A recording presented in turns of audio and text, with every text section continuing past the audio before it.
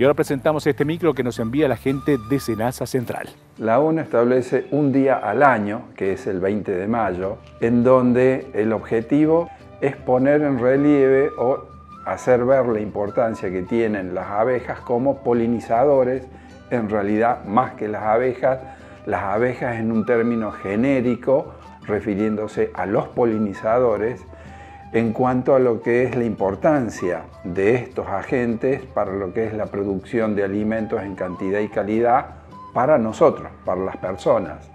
De hecho, requerimos, ¿no es cierto?, del cuidado de los polinizadores básicamente para tener una producción sostenible y sustentable de alimentos para nosotros. Se prevén una serie de eh, acciones a nivel del país y esto es llevado a cabo por la Secretaría de Bioeconomía a partir de la semana del 20 se inicia simbólicamente una semana dándonos cierto el mensaje que la importancia de esto más allá de una semana debería ser un, un evento prácticamente anual. Ya en el 2019 se declara la abeja como el animal más importante del planeta por la transversalidad que tiene como bioindicador de la salud ambiental, ese concepto de la salud ambiental, de la salud de los animales, de la salud de los vegetales, es lo que más recientemente conocemos como una sola salud y la importancia que tienen estos agentes en la producción de alimentos para lo que es nuestra alimentación, asociado a nuestra salud. Entonces, el concepto de una sola salud involucra todos estos aspectos.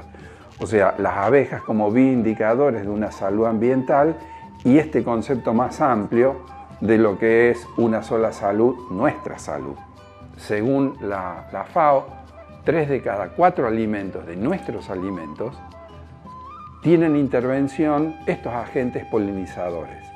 Entonces, desde el SENASA lo que tratamos de propiciar es no solamente, por un lado, resaltar la importancia del cuidado de estos organismos, de estos organismos polinizadores, sino de, a través de las acciones que llevamos adelante, mantener la sanidad de los mismos. El algodón es una planta perenne que crece, vive durante muchos años, pero técnicamente o agronómicamente lo que hacemos es trabajarla o cultivarla como un cultivo anual. O sea que en el año va a durar este cultivo unos cuantos meses, aproximadamente entre 5 y 6 meses. Entonces, al finalizar la cosecha del algodón, eh, lo que hay que hacer por recomendación mundial es destruir los rastrojos que quedan para producir la muerte de la planta y de esta manera tenemos eh, un vacío sanitario que técnicamente es un periodo libre del cultivo de algodón. Ese vacío sanitario en todas las provincias, en todas las zonas algodoneras, tiene que ser por lo menos mayor a 90 días. Eso nos garantiza que todo el invierno el insecto picudo no consiga tanto refugio ni alimento de esas plantas que podrían rebrotar y por lo tanto no se reproducen. Eso ayuda a contener el avance de un lote a otro y de una zona productiva hacia otra. ¿no? Para esto el SENASA lo que hace anualmente es eh, publicar las fechas límite para la destrucción de rastrojos y en este mes de mayo, el 31 de, del mismo mes. Eh, eh, es la fecha límite para la destrucción de los rastrojos para las provincias, por ejemplo, eh, Formosa, Corrientes y Santa Fe. Así sucesivamente, en los meses de invierno tenemos las fechas para las distintas provincias algodoneras y lo que queremos lograr con esta fecha es establecer el último día para la destrucción de rastrojo a fin de garantizar los 90 días de vacío sanitario necesario para la próxima campaña, cuando comienza la siembra.